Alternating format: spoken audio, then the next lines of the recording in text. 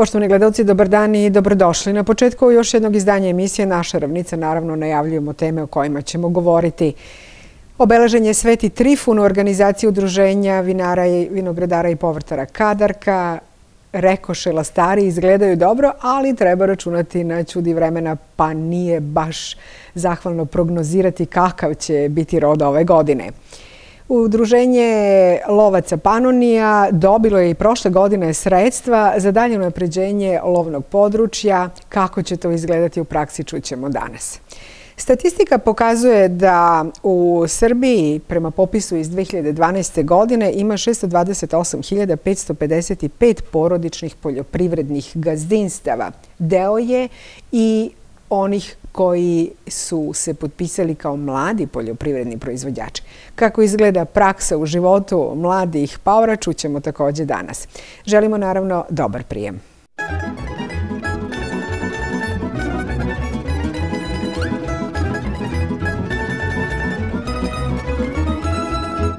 U Bajši je 14. februara organizacija Udruženja vinogradara, voćara i povrtara Kadarka obeležen Sveti Trifun, zaštitnik vinogradara i vinara. Na dan koji obeležava i početak radova u vinogradima, domaćin Svetkovine bio je Stanislav Popov, a prvi lastari su orezani, čokoti crnim vinom zaliveni i osvećeni i u vinogradima najstarijeg člana Lazara Miletickog, najmlađeg člana udruženja Adama Lackovića i Karolja Menđana, u čijem vinogradu je prezviter Darko Jelić održao i završni čin osvećenja i rezanja slavskog kolača. Kader koji vidite, poštovani gledalci, svedoči o tome da su vinari i vinogradari u Bajši ove godine na pravi način obeležili svetog Trifuna. Svetac je zaštitnik između ostalog i vinogradara, a kako na ovog e, sveca gleda crkva i kako ga tumači? Pa, sveti Trifun je živeo s krajem negde trećeg veka, rođen je u skromnoj porodici, cijelo svoje detinjstvo provodi veoma skromno, čuvajući uglavnom, kako navodi predanje, guske na polju i šetajući se po vinogradima, zato negde kasnije i proslavlja se kao zaštitnik vinogradara. Međutim, pošto u to vreme njegovi roditelji su bili vrlo pobožni, a zajedno sa njima i on, još u detinjstvu gospod ga je nagradio darom čudotvorstva, tako da je u mladosti mnogi isceljivao. Car Gordije, koji je u tada to vreme vladao Rimom. Imao je veoma, kako kažu, lepo i mudru čerku koja se bila u mladosti razbolela i niko ne mogaše izlečiti, ali se u snu caru javi da će mu Trifun pomoći. I onda je on poslao da se traži svuda Trifun po carstvu i na kraju dovodili su razne, međutim kad dovedoše svetog Trifuna na prvu molitvu ona ozdravi. I od tada car Gordije stade veoma poštovati hrišćane i on je negde možda jedini čak u tom periodu koji nije gonio, pošto je bio običaj u Rimskom carstvu, svaki car je gonio bio hrišćane. Međutim, pošto je car Gordi umro, bio je još klasno posle njega jedan car i on je došlo, ne znam Boži, car Dekije, koji je opet podigao gonjenje hrišćana i baš se i bio nameračio da uhvati svetog Trifuna zbog toga što je pomogao prethodnom caru i zbog njegovog dela se ime Hristovo bilo sve više više proslavljalo i pošto ga je našao, podoga ga je raznim mrkama, mukama i pošto ga nije mogu biti, na kraju ga je posjeko mačem. Tako da su hrišćani njegovo telo sahranili i ubrzo potom, kao i za njegovog života, ono se pokazalo kao čudotvorno, te sveta crkva od tada usta na, na današnji dan, koji se smatra da je dan njegovog stradanja, uspostavi dan kad ćemo se setati, sećati molitveno njega. Način na koji ovdašnji vinogradari obeležavaju svetog Trifuna svedoči o tome da zaista žele da očuvaju tradiciju i da na pravi način naprave e, jednu kvalitetnu vezu u svakodnevici između predanja koja treba da žive zato što su poučna i života koji teče svaki dan. Kako vi to ocenjujete? Pa ja sam zaista srećan, kao što svi znamo, Bajša je multikulturalno naselje gde postoje razne nacije, ali bez obzira na sve, mi se svi zajedno, i Srbi, i Mađari, i Slovaci, okupljamo na Svetog Trifona da bismo se zajedno pomolili Bogu, da bi ova godina bila blagoslovena, da bi svaki novi vinograd orezali, posvetili da i sa naše ljudske strane radom doprinesemo, a i one zbožanski da umolimo da i te strane bude blagosloveno.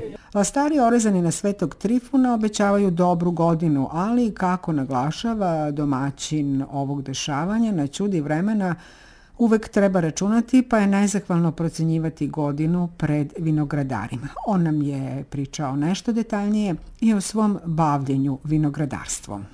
Koliko vinogradarima i vinarima znači ovaj moment? Pa mnogo nam znači jer mi živimo ovde u više nacionalnoj sredini i tu smo dokazali koliko se mi poštujemo i družimo nikad ne postavljamo pitanja ko, gde, kod koga i zašto, jer pošto je danas trebali smo u mome vinogradu da to obavimo zbog kiše ovog nevremena, ovo je bilo najprigladnije mesto i tu se očito i videlo koliko smo, koliko mi šivimo i dan danas bratstvo jedinstvo. Koliko sada ima vinara u Bajši?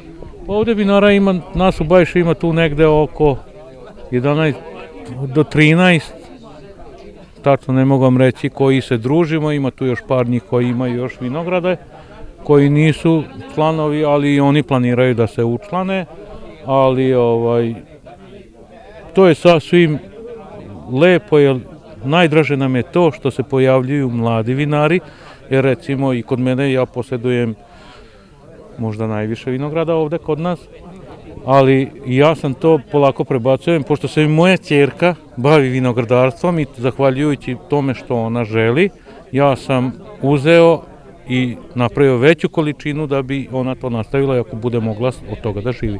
Govorite o površinama da su dosta velike, na kojoj površini gajite i koje moja, sorte? Moja površina je tu negde, pa negde preko dva jutra sada i planiramo još jednu određenu količinu da posadimo, jer pošto smo primetili da nije dovoljno vina koliko proizvedemo, a inače mi smo se opredelili više većinski za bele sorte, a traže nam mnogo i crne, pa planiramo još nešto za crne sorte da proširimo.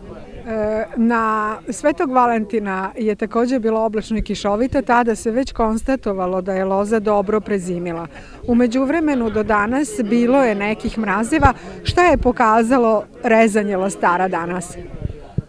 Pa ovo rezanje lastara pokazuje jako pozitivno i jako lepo izgledaju lastari, ali to je samo neka pretpostavka. Dešavalo se i ranije da su lastari bili i posle svetog Trifuna, došli su neki mrazevi koji su uticali, nisu uticali na ceo lastar ili na okca, tako da je odmah manja rodnost bila.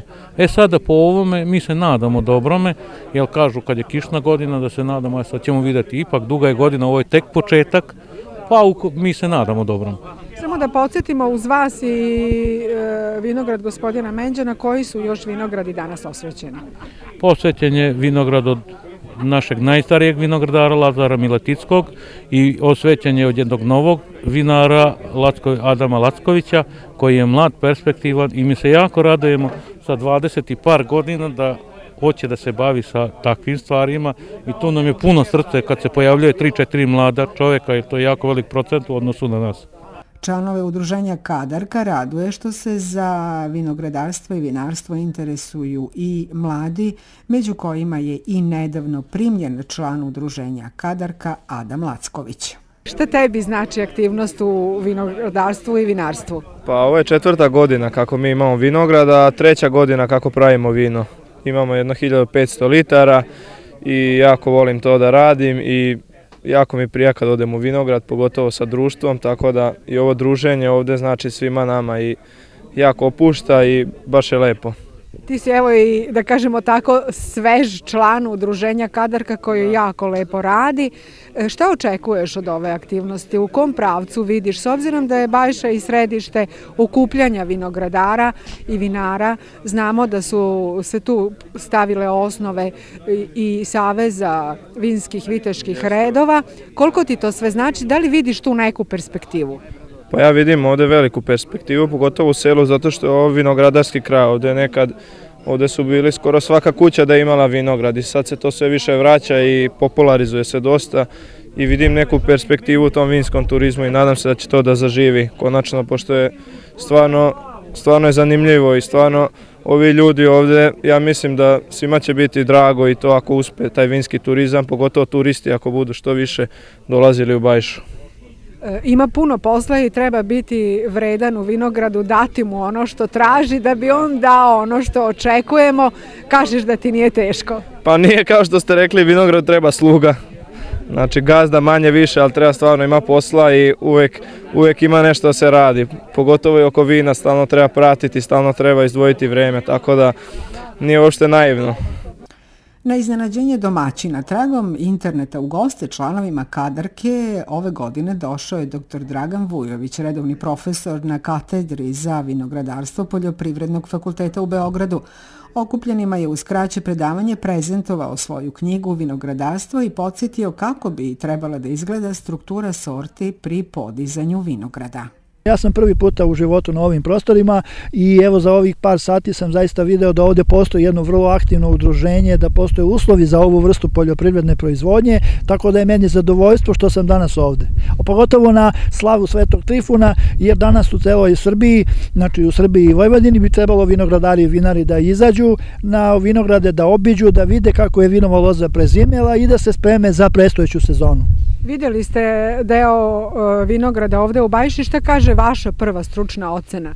E, moja prva stručna ocena kaže da stanje nije toliko loše koliko je problem sa radnom snagom. E, vinograd je takva vrsta poljoprivredne proizvodnje da je potrebno dosta e, ruku, znači za obradu, sad prva operacija koja nam prestoji baš od današnjeg dana, to je neka simbolika, ali vrši se orezivanje vinograda, znači potrebno je radne snage, potrebno je ispoštovanje nekih agrotehničkih operacija, Koje bi to e, sorte bile pogodne za ovo tlo?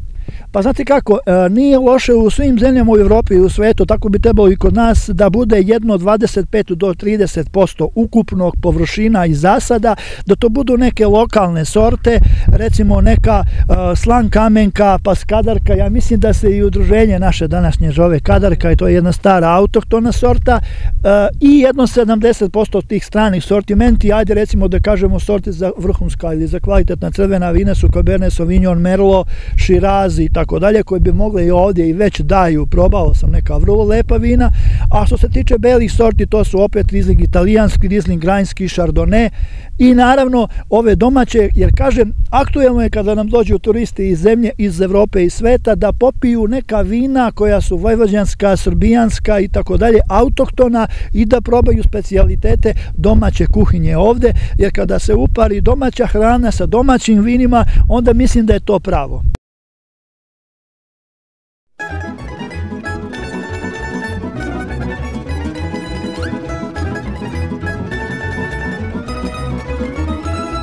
Nastavljamo našu današnju emisiju sa nama Milan Savić, predsjednik Lovačkog udruženja Panonija. Gospodine Saviću, e, udruženje o kojem govorimo i na čijem ste vi čelu ima veoma pozitivna iskustva kada je u pitanju konkurisanje za sredstva pokrajinskog sekretarijata za poljoprivredu, vodoprivredu i šumarstvo, preciznije na konkurse koje ovaj sekretarijat raspisuje u oblasti lovstva. I kraj prošle godine je doneo potpisivanje da kažem, ugovora o korišćenju sredstava. O kom obimu novca je reč i za šta će se i kako sredstva usmeriti? Pa vidite, ovaj, što se tiče tog fonda, on je osnovan pre tri godine, otprilike tako, ako ja dobro pamtim. Mislim, u fond ulaze kompletno sredstva ovaj, iz planskih odstrela, ulovljene divljači na nivou udruženja koja uplaćuju ovaj, u dva navrata jedan prvi deo 30% ovaj, za naknadu za izlovljenu divljač do 15. aprila, a drugi deo do 31. decembra. Znači 30% ide u prvom delu, 70% u drugom delu, praktično već kad se završavalo na sezonu. Dalje u fond ulaze ovaj lovne karte na teritoriji Vojvodine koje se izdaju ovaj svim lovcima koji su članovi lovačkih udruženja. Taj fond raspisuje konkurs i na osnovu konkursa se konkuriše ovaj za ta sredstva koja se nalaze u fondu. Koliko praktično recimo znači eh, za vaš budžet ova obaveza koju ste pomenuli, to jest ove dve obaveze? Pa vidite što se tiče ovaj, našeg budžeta i svega ostalog, dosta je to ozbiljna obaveza jer mi smo i prošle godine platili nekdo preko 300.000, sad tačno ne bi u dinar da ovaj, kažem, ja prethodnih godina dok smo bili celo udruženje i tako mi smo plaćali 5-600.000. Međutim, onda se, eto, na neki način ovim konkursima stvara mogućnost da se deo sredstava za unapređenje i razvoj lovstva vrati. Za šta je da se vratimo na minuli konkurs e, uspeo da se obezbedi novac i u kom obimu? Vidite, ovaj, prethodni, ovaj, sad ovaj konkurs što je bio u prošloj godini, mi smo dobili 300.000 ovaj, za jednu volijeru koja će se graditi u Malom Beogradu. U prethodnom periodu smo dobili ovaj 2,5 miliona dinara za klanicu, hladnjaču u Bajiši. Pre toga smo isto dobili, u stvari te godine smo dobili 300.000 za volijeru u Orahovu i prethodne godine, ovaj, znači pre tri godine smo dobili takođe neka sredstva gde smo ovaj, ulagali u Bajšu, u volijere i gde smo u Njegoševu opravku ili volijere i izgradnju lovačkog doma, tako da smo mi što se nas tiče kao lovačkog udruženja prilično ovaj sredstava dobili i povukli iz tog fonda. Kada će početi gradnja pomenutih objekata? Pa ja mislim ovaj objekat da ćemo tu početi negde u aprilu. Koliko znači ovaj vid unapređenja za lovačka društva i udruženja koje dobijaju na ovaj način da li privremene hladnjače, da li e, hranilice, volijere, da li ono što dobiju, koliko njima znači to u unapređenju zaista ove oblasti? Pa vidite, ovaj, što se tiče unapređenja lovstva, mislim da se s time dosta pomaže. Pomaže se u tom smislu jer to ovaj, lovačka udruženja e, u današnjem vremenu, pogotovo kad ima manje divljači i svega ostalog, mislim da ne bi uspjela da ovaj, napravi jedino uspevaju ovako sa pomoći od strane ovaj sekretarijata za poljoprivredu, vodoprivredu i šumarstvo. Tako da s tim sredstvima se uspeva i sa radom lovaca i sve ovaj ono što ide uz to. Mislim da puno toga ovaj ne bi se ni uradilo, a drugo što je ovaj zakon počeli su zakoni da se primenjuju koji će biti najverovatnije rigorozni jer te hladnjače se grade u tom smislu da bi se ta divljač kad se odstreli odlagala tamo da bi tamo bila ovaj, evidentirana i sve ostalo. Tako da to je neka funkcija koja će biti ovaj tražena prilaskom Evropskoj uniji i svemu ostalom. Dalje, ovaj, ta klanica hladnjača u stvari bi trebala i da bude za lagerovanje tog mesa od strane srneće divljač, jer ovu sitnu divljač to nose sami lovci sa sobom. Tako da ti propisi koji obavezuju ovaj lovačka udruženja i sve lovce, mislim da su dosta rigorozni, jes da se oni još za sada toliko ne primenjuju, ne kontrolišu i sve ostalo. Ali izvesno je da će biti. Ali ja mislim da će to biti i da će to biti ozbiljno kontrolisano. I na kraju samo poslednje pitanje prema nekim mojim raspoloživim informacijama ove godine se razmišlja o tome e, da počne izrada elektronskog registra u oblasti lovstva na teritoriji naše pokrajine i e, bit će to jedan duži period e, vezano za ovu aktivnost. Očekujete li da će biti mogućnosti da i ove godine nađete put do ovih značajnih sredstava preko konkursa Pa vidite što se tiče toga, najverovatnije da ćemo učestvovati. Ja ovo u vezi registra, ja mislim da ovaj, e, radi se na tome da preko fonda se ovaj, obezbeđuju sredstva za kompjutere i sve ostalo, da na nivou sekretarijata će biti to sve povezano tako da ćemo imati na sajtovima lovačkih udruženja kompletno što se tiče i samog odstrela i broja članova lovačkih udruženja i sve ono što ide uz to.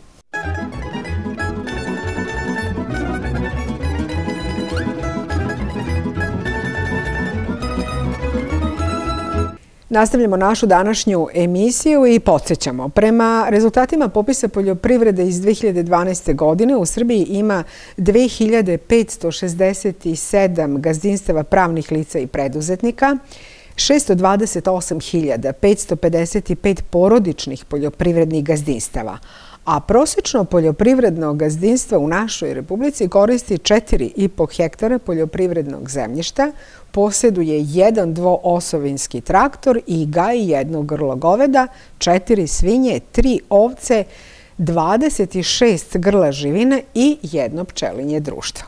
To je naravno statistika, a kako izgleda praksa mladog poljoprivrednog proizvođača čućete u priči koja sledi, a zabeležili smo je u Malom Iđošu. Kojom vrstom proizvodnje se bavite? Pa uglavnom ratarstvom proizvodim pšenicu, kukuruzi i šećernu repu. Da li ste razmišljali o tome da možda prateći potrebe potencijalnog partnera, mislim tu na Evropsku uniju, u strukturi proizvodnje uvedete i nešto novo? Pa planiram, e, ranije sam se bavio stočarstvom, e, međutim sad sam odustao uglavnom zbog cena, ali ako bi to bilo povoljnije, naravno opet bi se vratio stočarstvu, uglavnom ovaj, krave i, i to junadi. Vi ste mlad čovek, šta vas je opredelilo da ostanete na selu? Pa eto, ja se bavim poljoprivredom, otac mi se bavio poljoprivredom, ovaj, imam nešto sobstvene zemlje, držim u arendi i jednostavno eto, tu na selu nemamo druge mogućnosti osim poljoprivrede i tako da sam ostao na tome. Fabrika pod vedrim nebom uvek je izložena nizu rizika. Vremenske prilike su promenljive. Kako strukturu setvenu prilagođavate, ne daj Bože, nekim ekstremima? Pa ovako, e, najveće površine sejem žitarice, pošto ovaj, dođe ranije pre onih letnjih ovaj, vrućina, ali naravno i kukuruzi šećernu repu, pošto moramo da se držimo plodoreda, tako da je uglavnom to. E sad, ostalo je prepušteno vremenu, pa vidjet ćemo šta će biti. Prošla godina je bila solidna, pretpoša jako loša, evo i sad ima već problema sa, sa zimskim rezervama vlage, pa vidjet ćemo šta ćemo dalje. Ovaj, nadamo se da će biti kiša i padavina i da ćemo imati neku solidnu godinu kao što je bila prošla.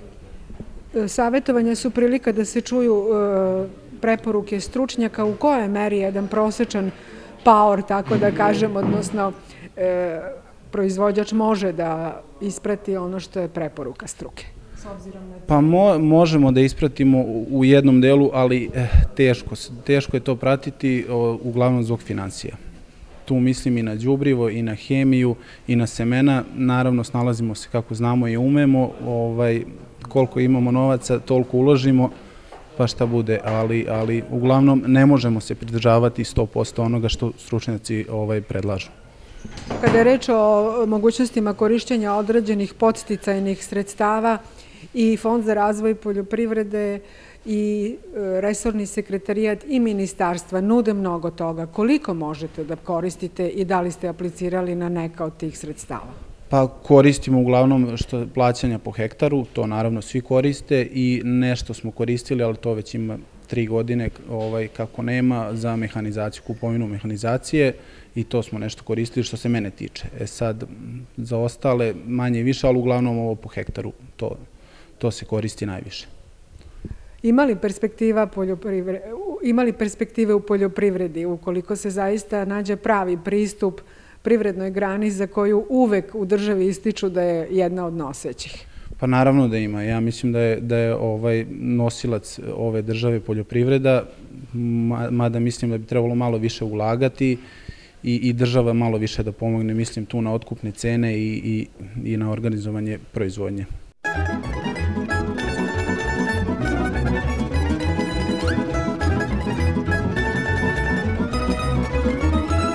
Završavamo našu današnju emisiju. Zahvaljujemo na pažnje i podsjećamo da se vidimo u istom terminu narednog petka. Do tada želimo uspešnu realizaciju brojnih poslova koje očekuju poljoprivredne proizvođače i naravno podsjetnik da nas možete pratiti i na YouTube.